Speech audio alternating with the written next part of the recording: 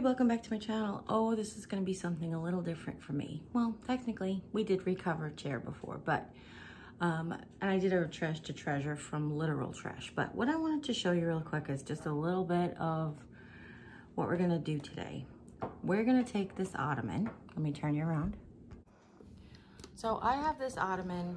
It's, the fabric is a little dated. that me and my dad built in the late 90s because I don't think I was married yet. Yeah, I wasn't married yet. Um, at least I don't think I was. I don't know. Um, but I had a cat and I let her go ahead and have this, go to town on this. This is a really nice fabric, or it was at the time, but I got it really, really inexpensively. But I will show you, the cushion on the top is really still very good.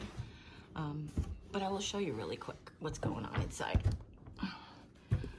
So this ottoman was built by my dad, recovered by me, or covered by me, um, and it still smells like pine.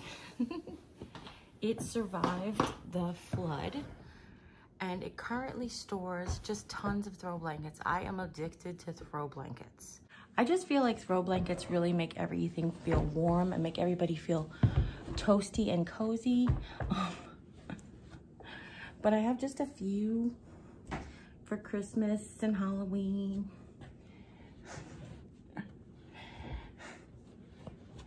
and this color.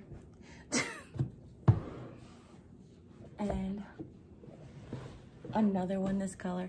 These two blankets were actually from the hurricane. Um, they were donated by Target. Um, and then they were giving them away because we were freezing. Um, and then I will show you the inside real quick. So the inside, my dad's idea was to decoupage it with like paper. This, so this was tissue paper. There is uh, the ivory with gold on this and then gold on the bottom. Do you know what I'm going to think that this is from after the wedding? Because those were my wedding colors and these were probably tissue paper left over. You know, it's one of the very few things that he didn't sign. Usually he signed everything. I just want to check the bottom. Nope. So we put on there these casters. They're gold and ivory, and they've really held up, to be honest with you. Um, now, as far as slip covering is concerned, I'm going to go over a couple of tips of why we'll choose to cover this instead of reupholster it. So there's a couple of things. First of all, the staples are all really still secure. This fabric doesn't have any major tears in it, even though it's all frayed from the cat. There's no big holes where stuffing is coming out. The staples are all really still very well intact. So we're just gonna cover over it. If any of those situations were different, if this fabric, original fabric was coming off, if there was any big tears in the original fabric.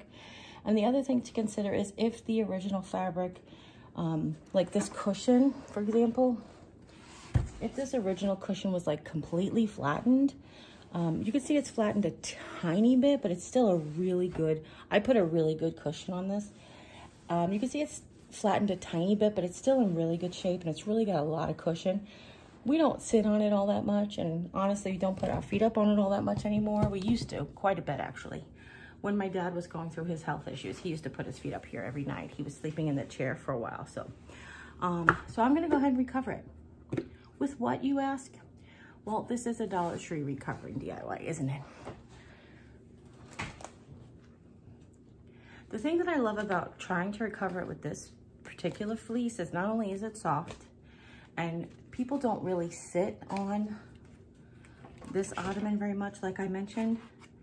Um, so I'm not really worried about the pilling so much, but consider that. But the reason I really wanted to show you, start this video the way that I am, is because I want to show you a couple of things. So this fabric is pretty neutral. Let me just turn you around so you can see what I'm doing. So this fabric is pretty neutral and it's pretty tonal. So like tone on tone. And this fleece. It has a white base. So you can see that you can't see any of the pattern coming through the white, but if your fabric that you're covering over is not, sorry, I dropped the piece, is not tonal and does have a pattern that's pretty bold or colors that are pretty bold, you can just still get from the Dollar Tree, if you want to leave it a Dollar Tree DIY, you can just get a white chamois or a white pillowcase or a white towel, whatever you want to use. And then you can put it underneath and you can kind of see the difference. Okay, what I'll do is I'm gonna lower this to here and then I'll put this fleece over it so you can see the difference. So can you see the, it's hard to see with the shadow, but can you see the difference here of how bright this white is compared to this white? This is what it looks like with the white underneath it, and this is what it looks like without the white. Now, I'm not concerned about bright white. My mother-in-law smokes, so this will all probably all turn yellow anyway. Plus, it is a more vintage feel like that I'm used to having. So I'm not gonna put the white under it. So that's what we're gonna do. We're gonna go ahead and slip cover this straight on. The other thing I wanted to share with you really quick is instead of this Dollar Tree chamois, much more economic is to actually get some batting. So you can get batting really inexpensively. I think you can get a king size batting from Walmart for about $4 and king size is huge. It's 72 inch square, I'm pretty sure. I think that's right. Um, and then you'll get plenty of that. So what I actually have under here is a cushion it was a seat cushion form that they had from Walmart that I covered with batting, two layers, and then the fabric. Um, my dad actually built the ottoman to accommodate the cushion. So we basically found a cushion and he built an ottoman to fit it.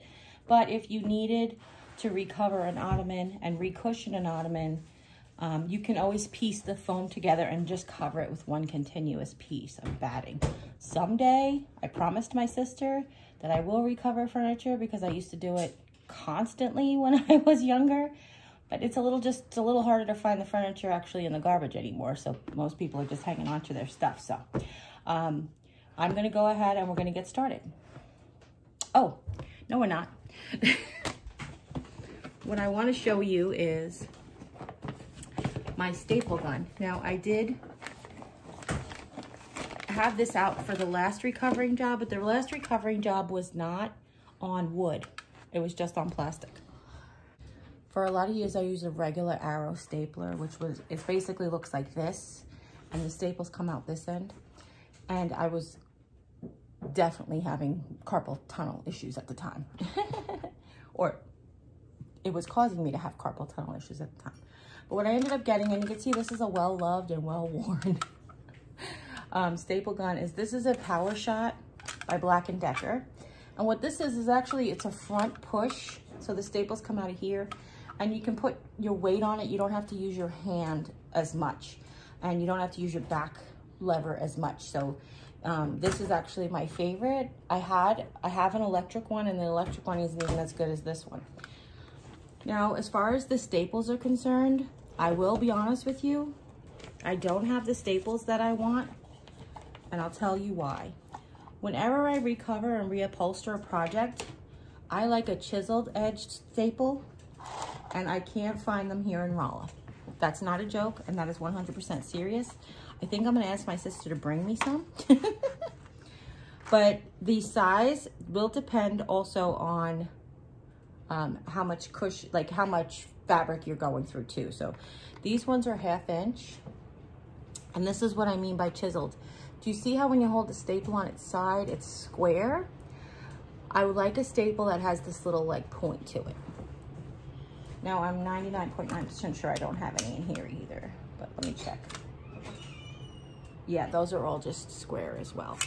So um, if you've never used a staple gun before, this power shot is super easy, but they all, just like a stapler that you have at your desk, they all have a way to open the trigger to load the staples. Be mindful of where the staple end is. This particular power shot came with a cord guard or a wire guard, but this basically it's this piece of metal. I think I actually have it anymore. Um, Yes, I sir. don't think we do. Well, if I do, it's not in here anyway. So if I have it, it's not in here anyway. But it's basically this piece of metal that goes over and thank you. And it lets you feed the wire here so you can staple over the wire. But so what I have here that I was able to find here in Rolla was Stanley's 3 eighths of an inch um, heavy duty staples. But again, they are um, not the chisel feature. I wonder if I can find them online and insert a picture. Maybe I'll do that. But I feel like this part was the most time consuming part was the lead in and to tell you about all of the things. So, oh, one last thing, and I will show you really quickly, is on the original, see if you can see it.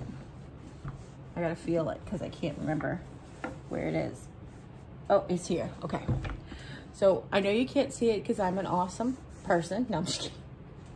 But hidden right there is the sewed seam for the fabric. So if you're gonna recover an ottoman and you have a sewing machine, what I did was I found an inconspicuous place to hide the seam, which I feel like this is a very inconspicuous place. If I didn't point it out to you, you wouldn't know it was there. And basically what I did was I made a sock because that's like how you do it. I sewed like a tube or a sock over it and then I pulled it down, stapled the bottom. Well, technically I stapled the top first and then pulled it down and stapled the bottom underneath. I decided not to finish the bottom. Like you can finish it with trim or gimp or, or tack strips, whatever you wanted to do. But I decided just not to finish the bottom. It was just for us. The other thing is for this particular project, I'm back and forth about whether or not I want to spray paint the wheels. If I do, it'll probably be in the future anyway. If I do end up deciding to spray paint the wheels, I will probably tape off the roller part, which is this plastic thing, um, so that it doesn't mar up my floors and just spray paint the ball part. I could always just take some oil-based paint and go over it like with a paintbrush instead of spraying, but we'll see. I haven't decided. They would look much better in silver with the gray fabric, that's all. Okay, so let's get started. Let's not get started. So on this particular project, because we have, um, we're not gonna sew one continuous tube, I'm gonna show you how to hide the seams on the corners each time. So it's going to be uh, a, a homemade DIY project looking. It's not gonna be as professional looking. But where I'm gonna fold over and continue around, you can always put trim on there or whatever you want because these pieces of, uh, these blankets are only a certain, I think, I wanna say they're 16, oh, 30 by 30 inches. So um, just keep that in mind when you're covering your stuff. So let's get started.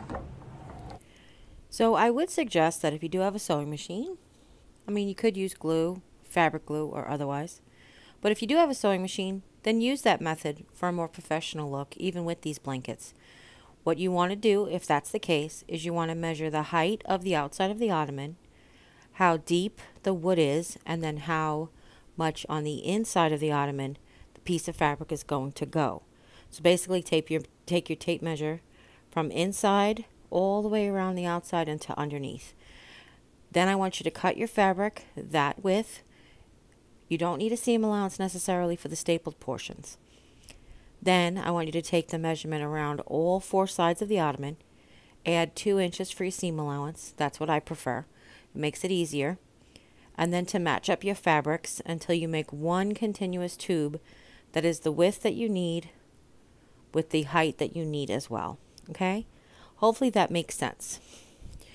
So I will tell you that we are going to do another smaller ottoman and I'm going to show you those details coming soon. But like many things on my channel, I do always want to show you beginner steps first and that's then you can go on to the more advanced stuff. So I'm just gonna stop working silently for a second to talk you through. I'm only putting three staples right now.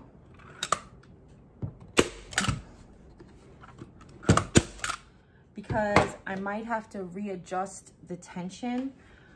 Here's the thing about a stretchy fabric like this fleece. As you sit on it, it may stretch and then it won't necessarily be fitted anymore. But that also is a, dependent on your use. What are you gonna use it for? Um, how often are you gonna put your feet up on it or is somebody gonna sit on it? So that all of that makes a difference because as you can see, as you press down on it, it could create puckering. So the thing is too though, because it's fleece, it will stretch and it will change the shape. And what I mean by that is these squares, do you see how I stretch on it and they become a different shape? Will distort their shape if I pull it too tight.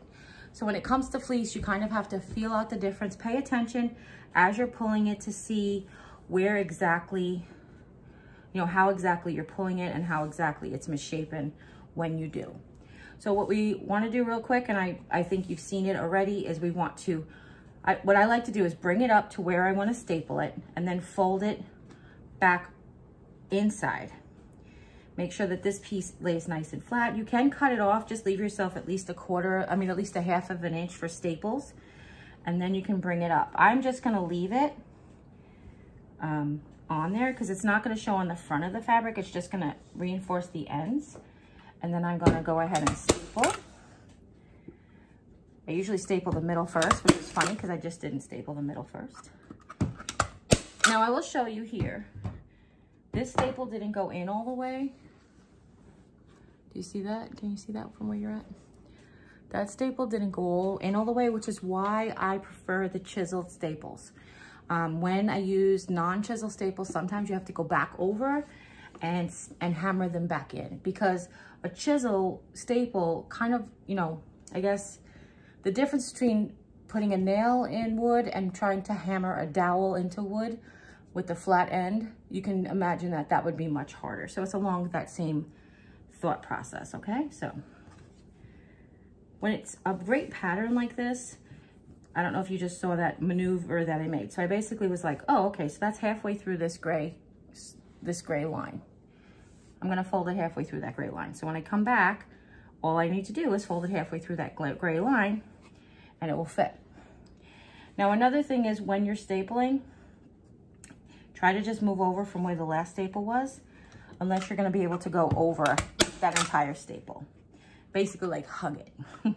and your normally staple guns are about the same size, so you won't be able to do that. Okay? Okay. Now, how do we do the corners? This is a matter of personal preference. So sometimes you see corners and sometimes you see corners and they're pleated. So let me show you a pleated corner quickly. Kind of like this, right? You've seen those before.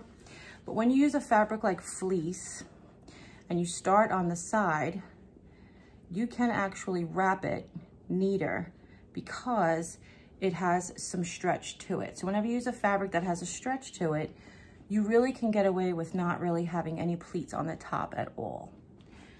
Now, this fabric that I did underneath, can you see? Okay, so I had one fold right there. I kind of did hospital corners. That's another option.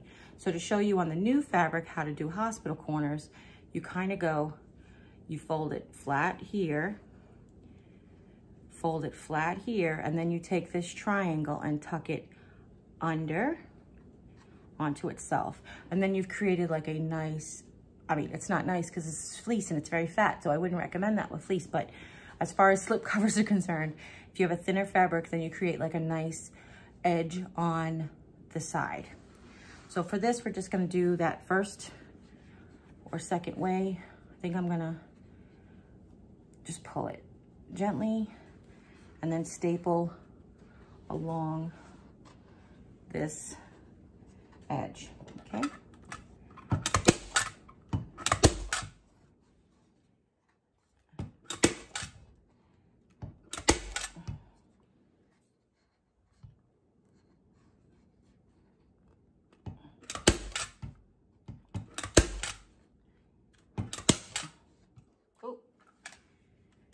Staple something and the staple doesn't come out, you know you're done.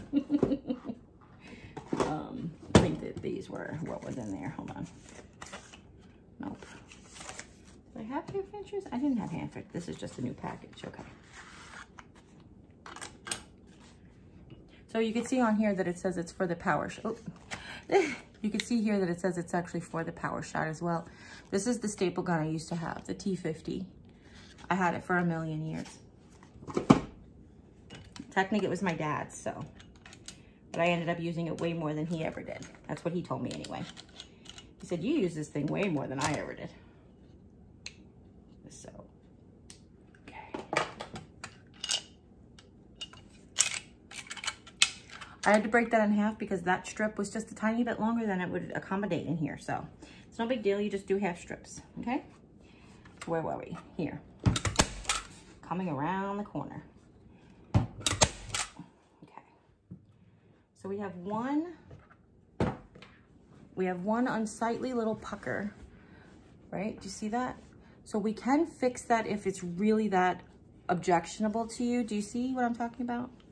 Let me see if I turn the light a little bit into the light. Oh, did I make it go away already? Sorry, I made it went away. Um, there was just one like pucker, but I was gonna say we could just flatten it out and staple it. So what we're gonna do now is we're gonna cut off all of this extra.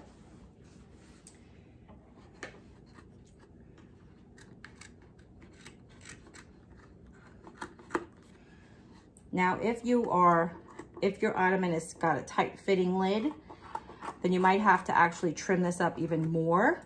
Mine does not. Mine is custom, so it fits wherever. Here, there's a little bit of an extra pucker there. So we're just gonna do is pull the fabric with the staple gun. That's my trick. you see how it disappeared? That's my secret, that's my secret technique. Um, but if this was, I'm sorry, you can't even see it. If this little bit of fabric is a problem for your ottoman cover, then you wanna just go ahead and you can either add some glue in there and then before you trim it, which, you, which I would recommend, wood glue, PVC glue, which is like white glue, Aleene's tacky, whatever will work. And then when it, the glue is completely dried, 24, 48 hours, then you can go ahead and take your X-Acto knife and trim this step back. This is not going to affect the lid of my ottoman. Of course, if it does affect the lid of yours and how well your ottoman stays closed, then you want to make sure that you have good clearance there, okay? But again, for beginning purposes, we're just going to go ahead and do it um, easy, easy as is possible, all right? Now, this particular fabric, in hindsight, I probably should have done the pleated corners, but again, I wanted to keep this the basic beginner's steps of recovering something. Um, the way I'm doing the cushion to the top of this ottoman is exactly how you could recover a chair seat. Um, you unscrew the chair seat first and then you can either go over your existing seat cover or you can remove your seat cover, replace your cushion, your batting, and then cover it with whatever fabric you have. Um, I've done that so many times. Oddly enough, other than the office chair that I already recovered, I don't have any cushioned seats in this entire house, which is so unweird. It's so unusual. Um, I do have a set of four chairs that I had recovered that are currently at Lisa's house um, that I lent them um, for game night and stuff. So um, if I do get the opportunity, maybe while I'm at her house, maybe we'll find some fabric. I'll bring my staple gun and we'll do that in case you guys run into that situation. Um, like I mentioned before, we'll probably do it again in the future. Okay, so this side, there is a tired gray row and then a little bit of a white show hanging out, a white row showing. And then on this side, there's an entire white row with about half of a gray row showing. You have to decide to have one good side when it comes to a fabric like this. So the other fabric, you could have two good sides because there was a stripe that could meet on either side. Like I could have decided to put the stripe this way or I could have decided to put the stripe this way. When it comes to an all over like this, and this again is like a home job. We're not trying to make it look super professional. Professional, um, we're just gonna make it look cute. Then we decide what stripe we wanna be at the top. So just to show you for an example, if I put this half gray stripe at the top, say, right? and then I use this side. It's not lined up perfectly, but you can see where I'm headed with it. So then I just want to adjust it, move it over a little bit so it can match. See how it kind of matches there? And then we accidentally pulled it out and pushed it back and gray stripes. And then you realize that you're doing it backwards because this blanket has the stripes going this way. But that's okay, live and learn, right? But you remember how I talked about the fabric being, like you could pull it. Um, keep that in mind as well because we obviously pulled the the top blanket a little bit because it's not lining up with the with the there you go. So now you could decide like oh, okay do I want this to be in the front and it'll almost match there and then work around or what have you. So that's what you got to decide. Me I'm just gonna do whatever works. I will be honest with you. I'm more concerned right now about it lining up around the edges so let me show you what I mean okay I actually think the gingham is cuter like that.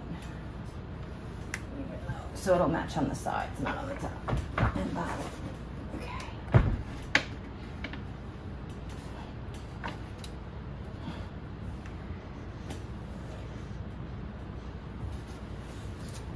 So I'm going to ensure that my blanket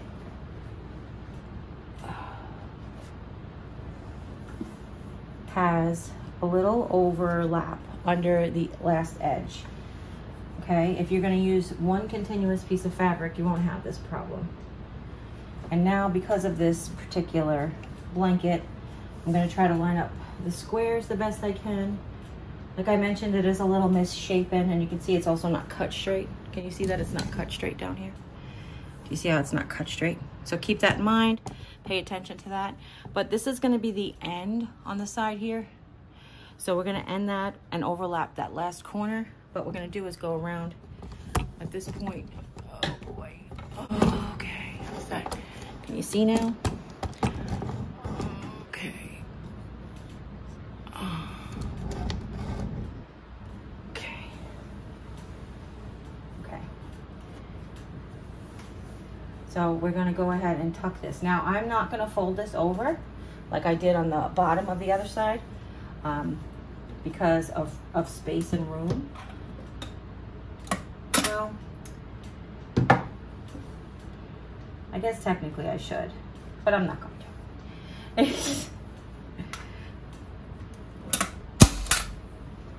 One reason you would, and I'm sure that's going to be in the comments, is you would if you were if if you were making this for somebody or doing it professionally, you would want all your edges to be professionally finished. I am not. And this is just a blanket chest. It's not to impress anybody. It might have been to impress my future husband when I first did it, but right now it's not to impress anybody. And I already got him, so. What? Exactly.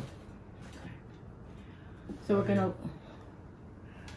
we're gonna line up the top. We're gonna see how well we line up the sides. So now I was kind of, I bought five blankets because I was thinking each section should be their own little bit of fabric. So like I should end this on the corner. You know, like each one should be its own bit of fabric. But I'm not 100% sure about that just yet. So, um, you know what, since I am thinking about that, let's start on this edge Let's get a straight line. Let's get a coordinating blankie. Let's see if we can, let's see how well the factory did with the tag. Let's see, where's the tag? Here. So if this tag is there, then that tag should be here, and this should line up perfectly, right? Um, what do we have on the corner here?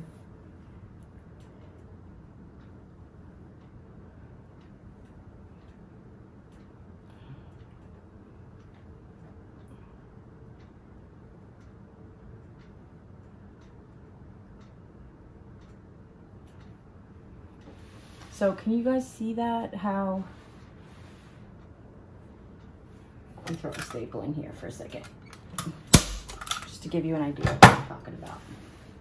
Let me line this back up. And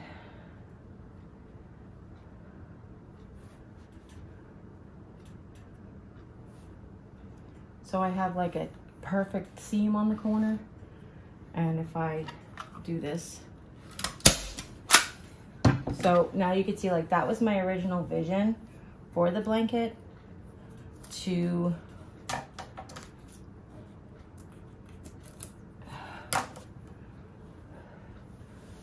to go around each side like that. Excuse me. Cut off the edges and go, and cut off the edges and go, and cut off the edges and go. I know it's really dark. I'm sorry, the light disappeared on me. There you go. So that was my original design. Then to take the next blanket and just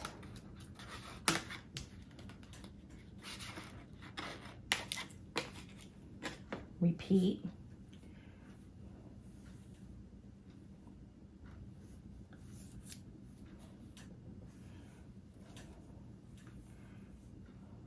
see how well, well, they're definitely doing a good job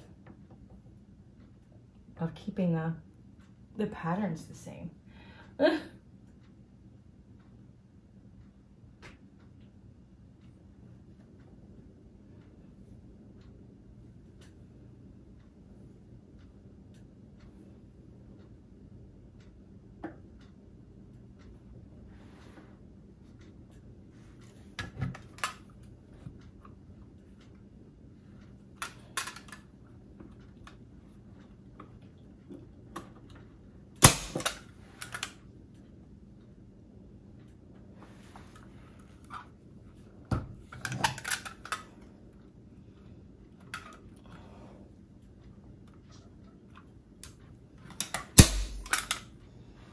now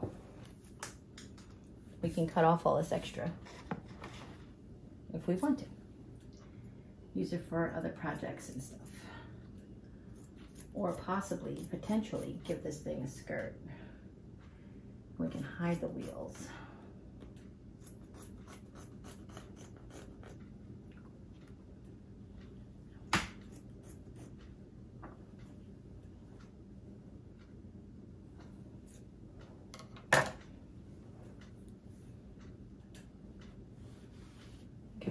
One thing we can do too, if you're feeling less confident about its security, I want to show you, is we can go like this. And then it will hold that part closed.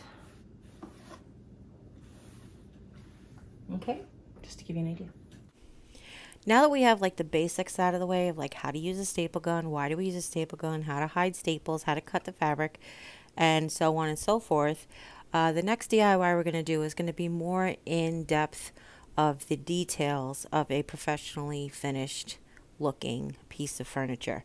Um, how to add trim and how to do different um, box pleats on the corners and stuff like that. So all of that stuff is um, going to be coming up in the future. I have a cute little red ottoman here at the foot of my couch that I think I want to do a new cover on as well. Um, just because it's look like it's looking like worn it's a, I'm sorry, it's looking like it's a little worn and the cushion has gotten really, really flat. So I'm probably going to do a more uh, full professional looking tutorial on that one. Okay, so since we left this space here, this like, because we stapled it here and not in the corner. Now we can go ahead and do the same thing that we've been doing with that last edge. So we're gonna cut it first. You know, before we were stapling it and then cutting it. Now this is the one end, this is the beginning and the end, may not match up, and that's okay. And that's okay. That's okay with me anyway. I don't know if it's okay with you, but it's okay with me. Because I'm expecting that. okay.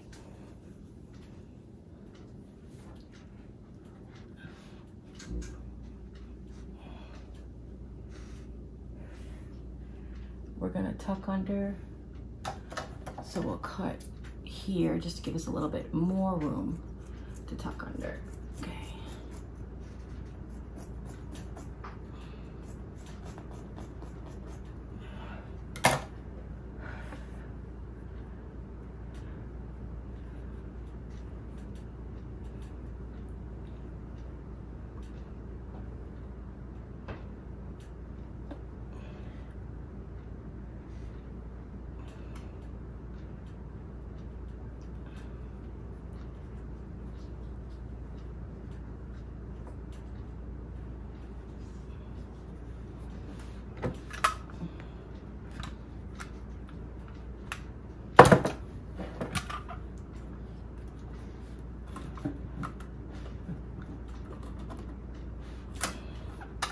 Trying to do it. I'm trying to do it on camera. also, these two chairs that I have in my living room are new, but if they ever get old, then we can go ahead and recover them as well. Um, but for right now, I really love the way they look, so I won't be touching them. Um, but I really do love how this looks in front of the one chair. Now, you could also go like this.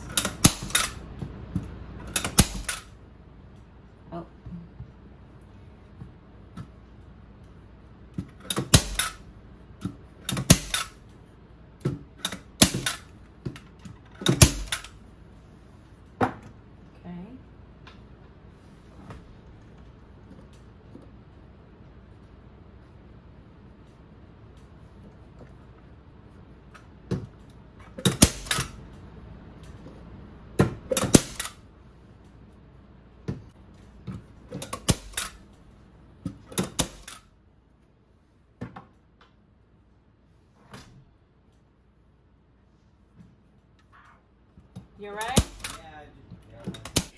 Now, as far as the DIYer's toolbox, it is definitely, I think, a must have to get a staple gun. It's not only good for reupholstering fabric and making headboards and such like that, but it is actually really good for DIYs, putting signs together, putting wood together. It just, when I usually do a Dollar Tree DIY, I don't use a staple gun. So now you can take your box cutter, X-Acto knife, or whatever you want to do, as long as it's really sharp and you can clean this all up, or since this is fleece, you can just like stab it. Oh, I didn't do this side. Looks like I started to and then I stopped.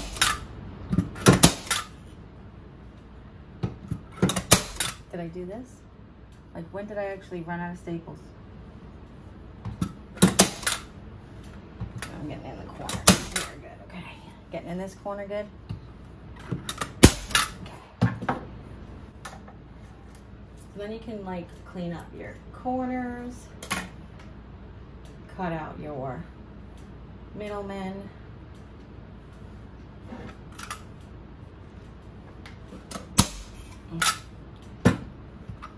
Like this. Okay. I get all four of them on this guy.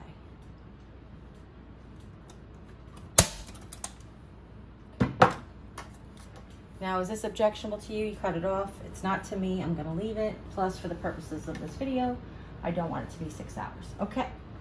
So, the bottom, we're going to do the same thing. I'm going to take one side at a time. We want to make sure that the under piece is laying flat and the over piece is laying gently over it before we staple it.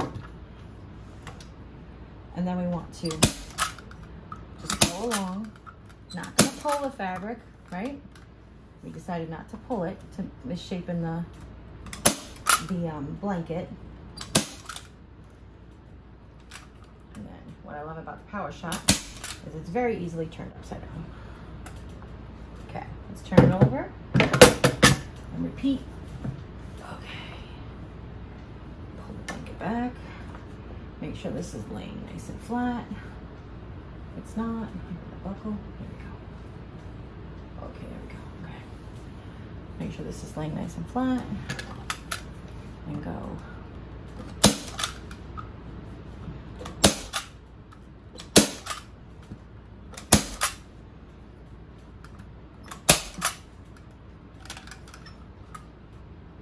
Oh, this side, because I don't do that side.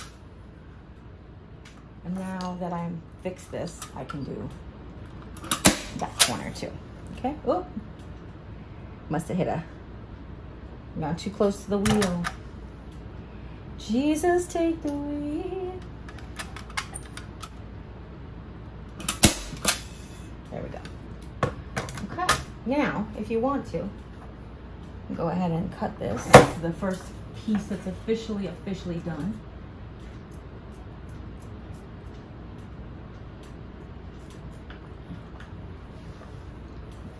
Oh, I guess Jesus didn't take the I still too close to the wheel. still too close to the wheel. There we go. That one's in.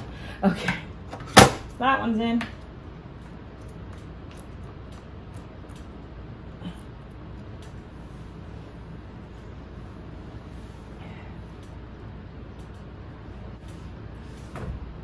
Son, it ain't what you're driving or the clothes that you wear. Material possessions don't matter up there. And someday in heaven, when the angels all sing, these rags that I'm wearing will be fit for a king.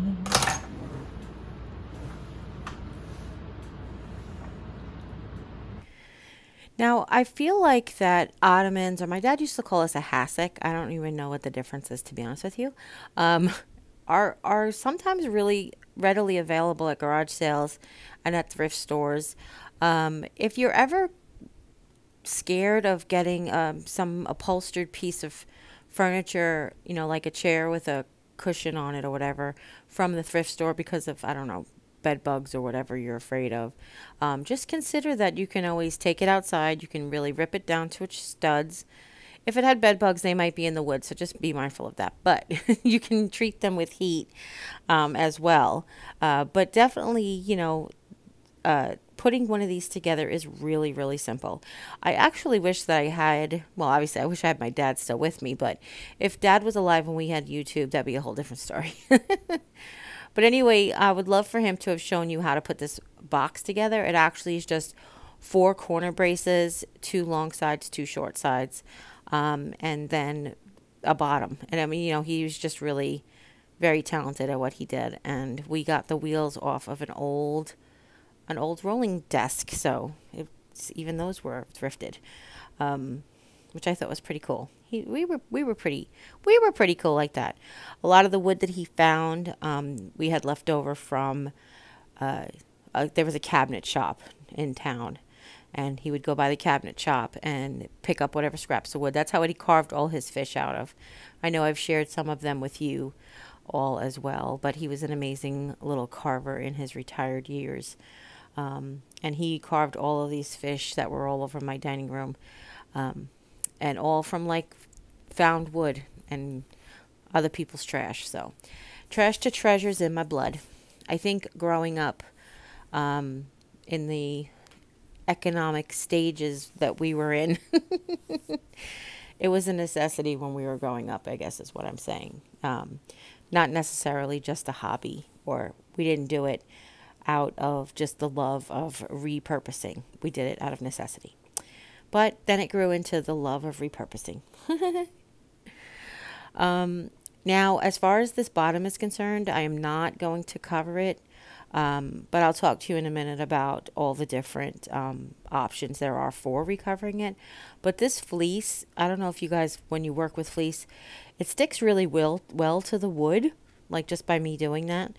Um, and I don't know if even if over time it would fall down.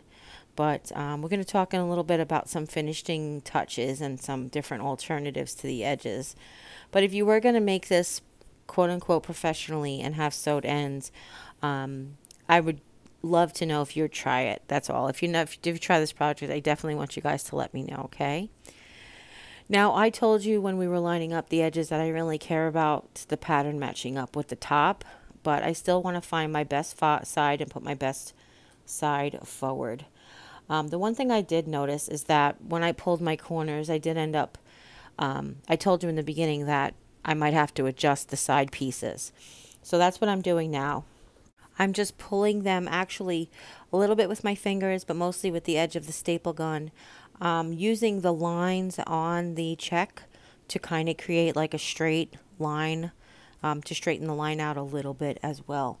I think also in the next project we might go over the edging, like um, like it's self-piping, but I'm not 100% sure if we're going to get to that. Um, but self-piping is definitely something that I want to share with you guys because it's another one of those tricks that makes it look so over-the-top professional, but is so really, really easy. Um, and actually, we can do it with Dollar Tree materials now, too. So I think I'm going to show that to you, maybe if we put the skirt on this. And I'll talk about the skirt you guys know what I'm talking about to you. Uh, but I'm talking about possibly putting a skirt on this. I saved all the materials to do it um, for another day for another project. uh, or to do additionally to this project. And if I do that, then I'll go ahead and I'll show you self-piping as well. Because I think that that would really up the factor on this bad boy just a little bit more as well.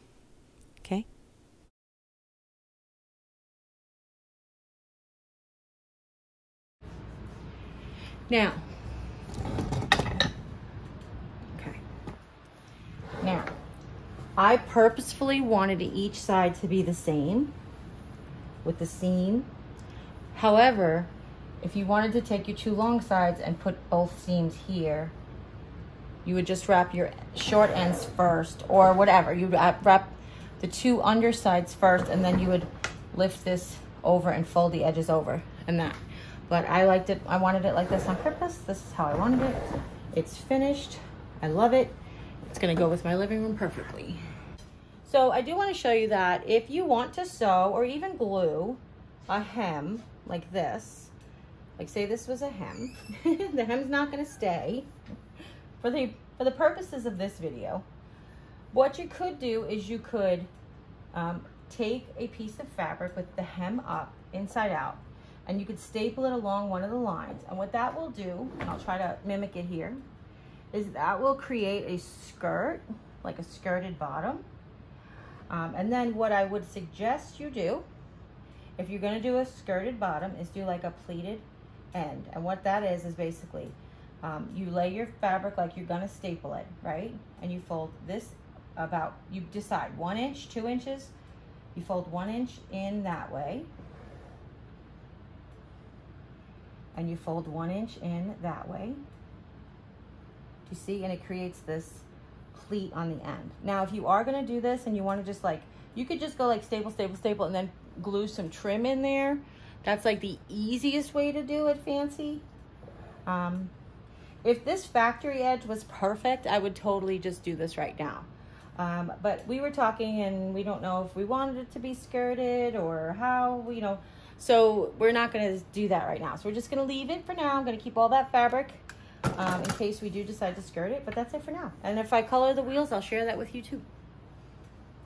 So that's it for this Ottoman recover with Dollar Tree products. Hopefully you guys enjoyed this video. If you do, give this video a thumbs up. Doesn't it look so cute with that chair? And you can see how much yellower like that chair is ivory. So that's why I wasn't worried about making this bright white. Um, if you have any questions, leave them in the comments down below. Don't forget to share with friends and family. Anybody knows interested in beginning to learn how to recover silly things like this. And if you haven't yet, click subscribe. And when you do, a little bell will pop up. When you ring that bell, YouTube will let you know whenever I upload a new video. And you can always steam it or iron it if it really bothers you. And as always, you guys take care. God bless. And we'll see you next time. Bye.